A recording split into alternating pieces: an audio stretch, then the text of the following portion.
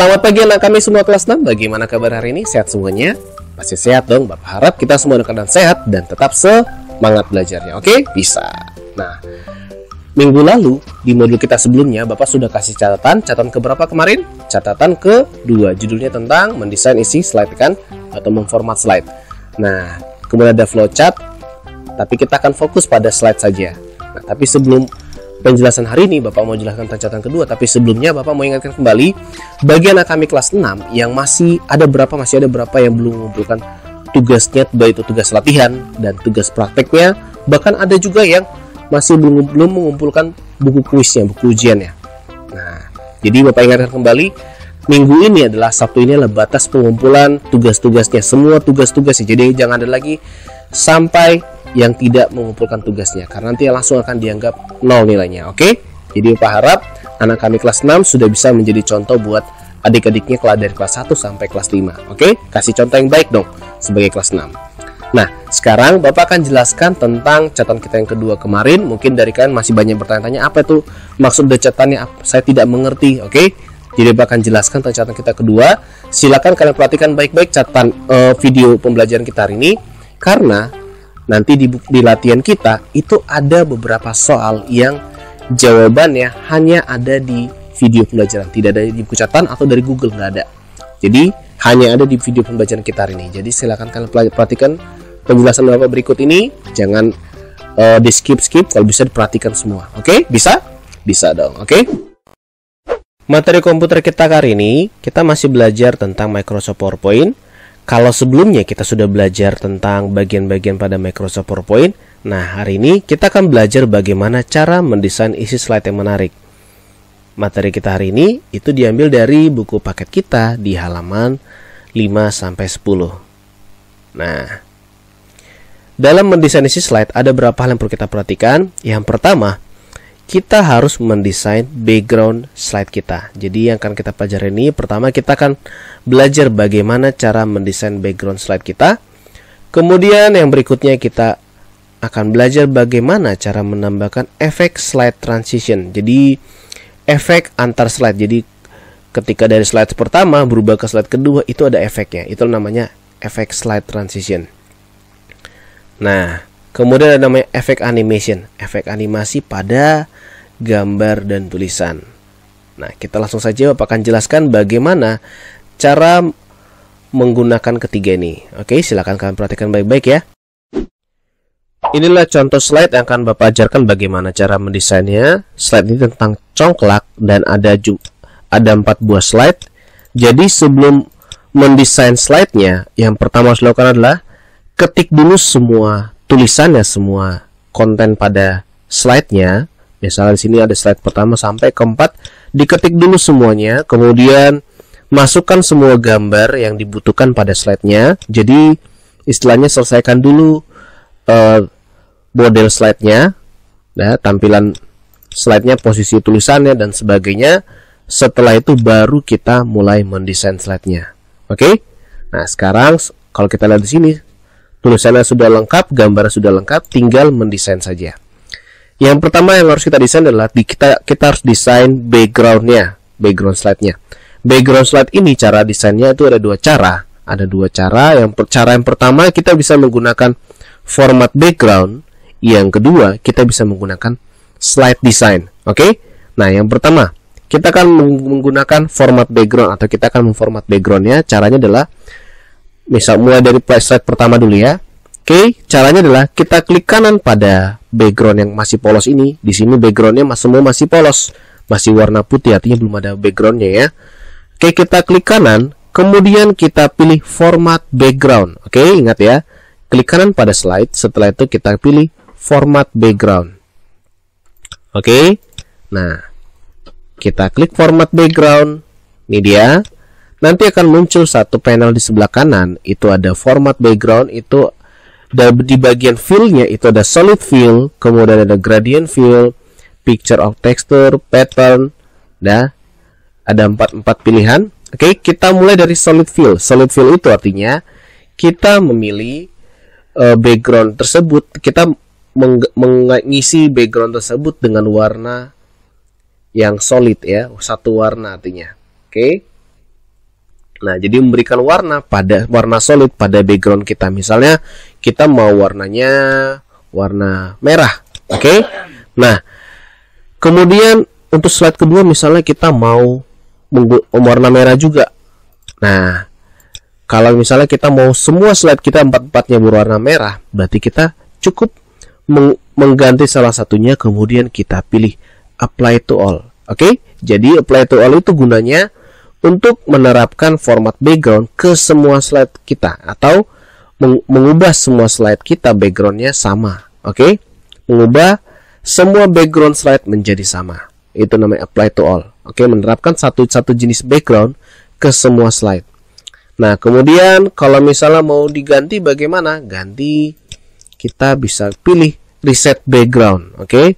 reset background itu gunanya untuk mengembalikan seperti semula Oke, kita pilih misalnya warna putih.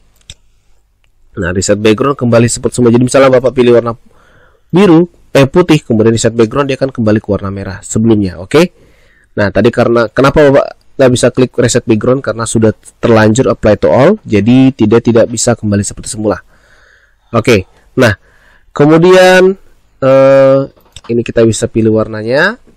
Nah, kalau reset background dia akan kembali seperti semula, warna merah. Kemudian di bawah solid fill itu ada namanya gradient fill. Oke, okay? gradient atau gradasi warna. Kita bisa pilih warnanya gradient fill. Bisa pertama pilih dulu dari preset, bisa jadi dari preset seperti ini. Nah, oke, okay, kita bisa pilih dari preset. Yang preset artinya uh, pengaturan warna yang sudah disediakan pada Microsoft PowerPoint ya. Tapi kalau misalnya kita mau milih sendiri, kita bisa mengganti warnanya di gradient stop sini.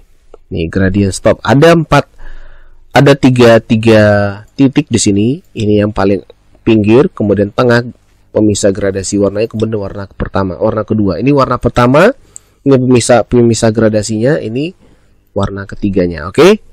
Nah kemudian kita coba saja. Oke, okay, kita pilih warna, kita klik yang pertama, kita pilih color misalnya kita mau dari warna merah okay. kemudian berubah menjadi warna uh, pertama warna eh, yang kedua warna apa kita buat biru misalnya nah ini dia kemudian yang ketiga jadi warna hijau nah seperti ini oke okay? jadi kita bisa atur sendiri warnanya di gradient oke okay? atau kita bisa pilih dengan menggunakan preset nah kalau misalnya kita hanya satu slide saja yang mau kita ubah seperti warna gini, berarti tidak perlu klik apply to all. Apply to all jika kita ingin menggunakan semuanya seperti ini. Nah, jadi sama semua. Tapi kalau misalnya nggak sama, nggak usah diklik apply to all. Oke, kita klik undo. Untuk slide kedua, misalnya kita mau menggunakan gradient juga, tapi kita menggunakan presetnya. Nah, misalnya dengan ini bisa juga seperti ini. Jadi beda ya. Slide pertama modelnya seperti ini slide kedua seperti ini dan slide yang ketiga kita mau menggunakan picture or texture oke? Okay? picture texture artinya uh, background yaitu bisa menggunakan gambar atau menggunakan teksturnya di sini. Tekstur sudah ada di sini. Nah oke? Okay. ini dia kita pilih. Nah untuk teksturnya kita bisa pilih yang mana teksturnya. Mau yang ini di bagian tekstur ya. Ini tekstur. Di bagian tekstur ini ada tekstur. Nah kita bisa pilih, kita klik kotaknya, kita bisa pilih tekstur mana yang kita mau. Nah ini dia, bisa seperti ini, bisa seperti ini tergantung mana yang kita mau. Nah kemudian, atau kita juga bisa menambahkan gambar misalnya, ah slide kedua ini nggak jadilah pakai gradasi, saya mau pakai gambar aja backgroundnya, bisa juga. Oke, kita klik slide yang kedua, kita pilih yang pilihan ketiga, picture or texture field, kita pilih file, kita cari gambar ya gambar yang mana mau kita jadikan background. Misalnya kita mau gambar ini. Oke nah jadi seperti ini ya. Atau misalnya gambar yang inilah. Nah oke. Itu dia. Bisa jadi kita sudah belajar sudah bisa mengubah warnanya menjadi satu warna, gradasi dan gambar dan tekstur. Nah, terakhir misalnya kita mau coba yang namanya pattern fill. Oke, okay, pattern fill ini sebenarnya mirip kayak texture fill, Nah, kita klik pattern fill. Nah, kita klik ini Nah, dia sebenarnya mirip kayak texture field, cuman dia lebih sederhana gambarnya sini. Nah, kita bisa ubah-ubah seperti ini. Oke, jadi slide kita sudah selesai kita desain. Yang pertama tadi menggunakan apa tadi? Gradasi warna, yang kedua menggunakan gambar, yang ketiga menggunakan tekstur, yang keempat menggunakan pattern fill. Jadi kita bisa modifikasi macam-macam. Oke.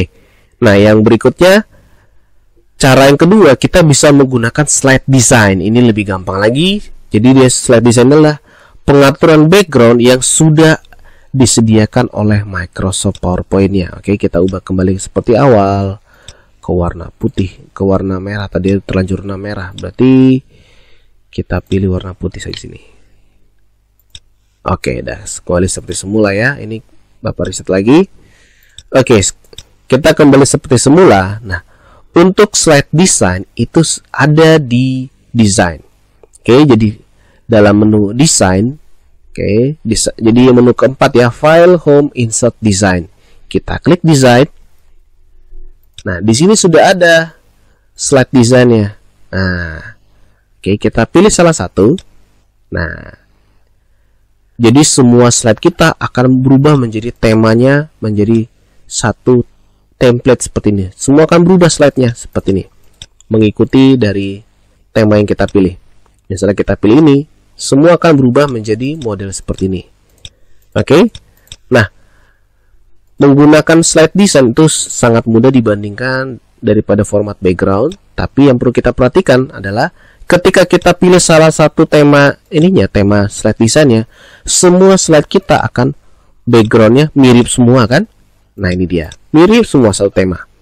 Nah, bagaimana ada nggak cara untuk membuat slide pertama menggunakan slide desain yang yang A, slide kedua menggunakan slide desain berbeda? Ada nggak caranya? Jawabannya ada. Oke. Okay? Nah caranya, misalnya yang pertama kita menggunakan slide design yang uh, yang ini misalnya. Tuh kita untuk mengubah, tapi sebelumnya kita ubah dulu ke tampilan awal ya. Untuk menghilangkan background itu background slide kita seperti semula ini kita ada namanya slide design yang paling awal. Yang pertama ini namanya blank dah. Oke okay, office atau office theme. Kita klik kanan pilih apply to all slide. Artinya semuanya menjadi warna putih lagi balik. Atau kita klik saja juga bisa nih seperti ini nah kita klik saja nanti semua jadi warna putih oke okay. Nah, untuk membuat slide desain yang berbeda-beda, caranya adalah misalnya slide pertama saya mau jadi sebelum mengkliknya kita bisa lihat dulu bentuknya kayak gini. Dia akan berubah seperti itu. Nih dia. Jadi tanpa diklik ya, sebelum diklik kita lihat dulu tampilannya seperti apa. Misalnya saya mau yang seperti ini misalnya. Oke, kalau kita klik semuanya berubah dengan model yang sama tapi kalau kita mau berbeda berarti kita klik kanan oke okay. pilih apply to selected oke okay. apply to selected apa artinya apply to selected artinya pengaturan background tersebut hanya berlaku pada satu slide saja oke okay, ingat ya apply to selected artinya pengaturan backgroundnya atau pengaturan slide-nya hanya berlaku untuk satu slide saja slide mana yang dipilih oke okay?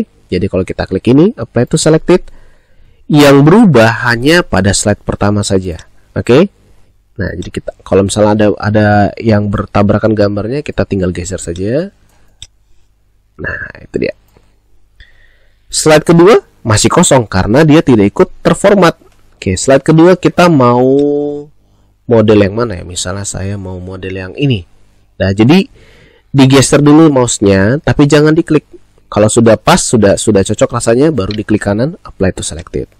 Ini dia. Oke. Okay. Untuk slide ketiga kita bisa menggunakan slide design yang berbeda juga. Pilih di slide desainnya, tapi ingat jangan diklik dulu. Lihat dulu eh, modelnya, kalau sudah oke okay, baru klik kanan apply to selected. Nah, kalau ada yang bertabrakan gambarnya kita tinggal geser. Oke. Nah, berikutnya slide yang terakhir kita bisa menggunakan ini misalnya apply to selected. Ingat ya, klik kanan pada slide desainnya, pilih apply to selected. Oke? Nah, sekarang selesai slide background. Oke, sekarang yang berikutnya tadi apa? Slide transition. Jadi efek transisi pada slide. Kalau misalnya kita tekan tombol F5, kita slide show seperti ini, itu ada efek yang muncul seperti ini. Ya kan? Misalnya F5. Sap. Itu slide pertama. Slide kedua, dia ada efek seperti terlipat kan, seperti tirai gitu terbuka. Kemudian slide ketiga juga beda, slide keempat dia naik ke atas. Nah, bagaimana sih cara membuat seperti itu? Caranya adalah, oke, okay, kita klik slide-nya, slide mana yang mau dikasih efek, kemudian kita klik menu di samping desain tadi. Oke, okay, jadi sebenarnya kita berut ya. Langkah pertama kita menggunakan desain. Dah, untuk mencari efek transisi kita pakai transition, nanti animasi kita pakai animation. Jadi tiga menu paling atas ini kita akan gunakan untuk mengubah mendesain isi slide. Design, transition, animation. Oke. Okay? Nah, untuk transition caranya adalah klik dulu slide-nya. Setelah itu kita pilih uh, transisinya. Apakah seperti ini? Kita lihat modelnya. Oke, kalau nggak cocok kita pilih yang lain lagi modelnya. Nah, misalnya ah slide pertama ini sajalah. Oke. Kemudian klik slide yang kedua, pilih modelnya, model transisinya ingat ya. Klik slide yang kedua, klik transition, menu transition, kemudian kita pilih modelnya. Misalnya saya mau model yang ini. Oke, atau honeycomb. Nah, slide yang ketiga juga sama, klik dulu slide-nya baru kita pilih slide transitionnya. Nah, Oke, dah. Jadi kalau kita slideshow, tekan tombol F5 atau kita bisa klik slideshow, kemudian masih ingat cara menampilkan slide kita? Ada tiga cara. Kita klik slideshow from beginning. Nah, seperti ini. Atau kita bisa tekan tombol F5 langsung. Atau kita bisa menekan tombol slideshow di bawah sini. Oke? Sama saja. Oke, tapi cara paling gampang adalah tekan tombol F5. Nah, lihat. Slide pertama muncul ada efek seperti tray terbuka. Slide kedua muncul seperti ada uh, efek honeycomb. Kemudian slide ketiga, slide keempat. Jadi terlihat, sudah terlihat lebih menarik kan? Nah, sekarang yang terakhir kita akan menggunakan animasinya. Oke? Okay? Animasi. Jadi tulisannya bergerak dan gambarnya bergerak. Caranya adalah Oke, okay, kalau tadi kita sudah menggunakan desain, transition, anim, transition sekarang kita akan menggunakan menu sampingnya itu namanya animation. Oke okay, animation ini caranya adalah pertama kita mau misalnya kita menggunakan mau menambahkan animasi pada tulisan oke? Okay? nah kita klik dulu tulisannya. Setelah itu diklik animasi akan muncul animasi. Jenis animasi ada warna hijau kita klik tanda panahnya untuk melihat semuanya. Ada hijau ada kuning ada merah. Apa artinya kalau hijau itu animasi yang memunculkan tulisan atau gambar. Oke, okay? jadi dari kosong kemudian muncul gambar. Misalnya kita mulai float in, lihat apa yang terjadi, tulisannya bergerak kan seperti ini. Nah, muncul tapi dia bergerak ke atas. Nih, atau misalnya swivel. Ini dia. Nah, zoom seperti ini. Oke, okay. itu yang warna biru, eh warna hijau. Kalau warna kuning bagaimana? Kuning itu adalah animasi yang muncul setelah tulisan ada. Misalnya seperti ini. Tulisannya sudah ada, tapi dia bergerak lagi. Contoh ya, ini dia. Tulisannya sudah ada. Nih, begitu kita klik slide-nya, dia bergerak animasinya. Jadi animasinya muncul setelah tulisannya ada. Oke, kalau yang warna hijau tadi, ini dia. Misalnya kita pilih swivel ya. Nih, kalau dia animasi itu namanya animasi animasi entrance namanya ya. Entrance. Jadi ada empat animasi entrance, emphasis, exit dan motion. Nanti kita akan bahas di pertemuan berikutnya lebih jelas lagi. Nah, kalau entrance dia pertama tulisannya kok nggak ada, kemudian begitu kita klik tulisannya muncul tapi dengan animasi. Oke? Okay? Nah, itu dia. Nah, kemudian ada lagi namanya exit. Exit itu berarti animasi yang menghilangkan tulisan. Jadi seperti ini, tulisannya hilang. Jadi pertama tulisannya ada, tapi lama-lama hilang. Nah, itu dia. Nanti ada nanti namanya motion pad nanti kita akan belajar di pertemuan berikutnya. Oke. Itu untuk tulisan, untuk gambar caranya gampang. Caranya juga sama. Klik dulu gambarnya, kemudian klik animation, pilih pilih itunya ya, pilih animasinya. Oke, yang paling sering dipakai itu animasi yang entrance yang muncul. Oke, ini Bapak menggunakan entrance saja semuanya ya. Oke, nah kemudian kalau kita lihat di sini itu ada angka 1 dan 2. Oke? Angka 1 dan 2. Nah, apa artinya? Angka 1 itu artinya dia muncul pertama kali. Jadi ketika slide-nya muncul, yang pertama muncul adalah yang ke angka 1. Kemudian ada angka 2. Nih, angka 2. 1 dan 2 nih kan. Kalau angka 2 artinya dia akan muncul setelah animasi pertama muncul. Kita tes yuk. Ini dia.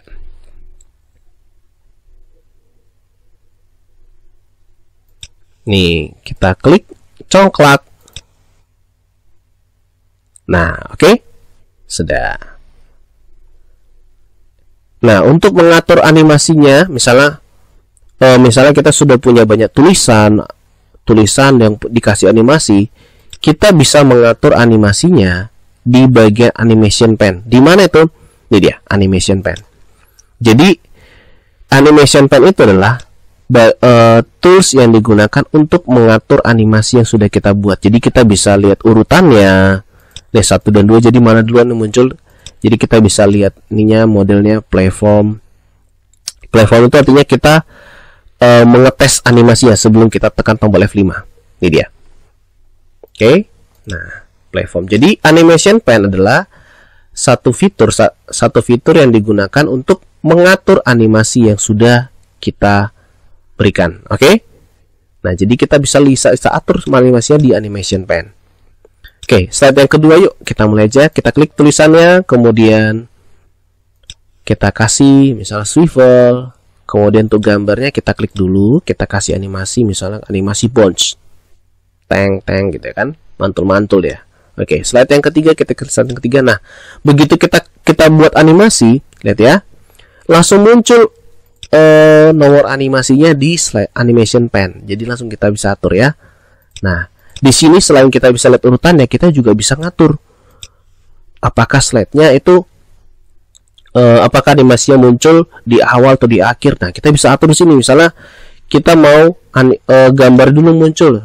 Nah, kita bisa geser ke atas nih. Nah, jadi gambar dulu muncul jadi berubah jadi satu kan? Nah, jadi ketika kita F5, yang pertama muncul bukan bukan tulisannya lagi tapi gambarnya dulu baru tulisannya jadi animation pennya kita bisa ngatur urutannya kita juga bisa ngatur jenis animasinya dan di sini ada satu lagi ketika kita uh, di sini ada namanya start on click apa artinya start on click nah animasi itu munculnya itu ada tiga cara pertama on click on click itu artinya adalah animasi itu akan muncul setelah diklik. Oke, ingat ya. Kalau ada pertanyaan, apa arti animasi on click? Animasi on click itu adalah animasi itu akan muncul pada saat mouse diklik. Oke. Kemudian ada lagi nanti namanya with previous. With previous itu artinya animasi itu akan muncul bersamaan dengan animasi yang lain. Animasi sebelumnya. Oke. Jadi animasi tersebut muncul bersamaan dengan animasi sebelumnya. Kalau after previous, ini dia ya. Ada tiga tadi on click with previous dan uh, after previous. Oke, okay? kalau after previous artinya animasi yang yang kita pilih itu akan muncul setelah animasi animasi sebelumnya, tapi tidak perlu diklik, dia akan muncul otomatis. Nanti kita akan perhatikan di pertemuan berikutnya ya. Jadi ini ada pengenalan saja. Ada tiga uh, timing pada uh, animasi munculnya, pengaturan munculnya ada on click, ada with previous dan after previous. Oke, okay? nanti kita akan belajar lebih lebih detail lagi di di pertemuan berikutnya. Oke, okay, kemudian yang slide yang ketiga kita klik saja, kita pilih misalnya zoom. Kita pilih gambarnya, misalnya kita mantul-mantul aja gambarnya, animasinya. Oke, kemudian slide yang keempat, ini gambarnya dulu kita mau buat animasinya. Kemudian tulisannya. Oke nah sekarang kita coba yuk. Kita tekan tombol F5 kita lihat slide-nya. Ini yang tirai kebuka adalah efek transisi. Baru kita klik ada congklak klik lagi gambarnya animasinya kan? Nah sekarang kita muncul slide yang kedua masuk slide kedua Nah, lihat ya. Ini tadi Bapak tidak klik karena tadi pilihnya with previous. Nah, dia akan muncul otomatis dia. Oke. Slide ketiga. Ini dia tulisan dulu, baru gambar, baru gambar lagi. Slide keempat. Ada ini seperti ini, gambar dulu, muncul putar-putar, baru ada tulisan. Oke? Nah, itu dia di modul kita hari ini ada latihan 5 soal, silakan dikerjakan di buku latihannya. Buat yang rapi, jangan lupa tulis soal dulu ya. Tulis soal baru jawabannya. Tidak tulis soal tidak akan dinilai. Oke, nomor 1 sampai 3 itu ada buku catatan kita. Nanti kalian bisa baca-baca kemacetannya. Bapak harap kalian sudah tulis catatan kalian di buku catatan, tidak lagi di modul. Jadi ketika modulnya tidak tidak atau hil tidak tidak nampak atau hilang, kalian masih punya materi di buku catatan. Kemudian nomor 4 Animation pen adalah Bapak sudah jelaskan tadi barusan di video ini. Jadi kalian kalau lupa, silakan kalian putar kembali videonya, pelajari baik-baik. Ada tadi Bapak ada sudah jelaskan apa itu animation pen. Oke, kemudian nomor 5, on mouse click artinya Nah, itu Bapak sudah jelaskan tadi di video ini. Artinya animasi akan muncul setelah titik-titik. Oke? Perhatikan di video kita video ini barusan. Jika perlu ulang kembali di bagian mana ada muncul kata on mouse click. Nah, baru teruslah jawabannya. Oke? Okay? Itu saja pembelajaran kita hari ini. Bapak ucapkan selalu belajar. Sampai jumpa di pertemuan berikutnya. Bye-bye.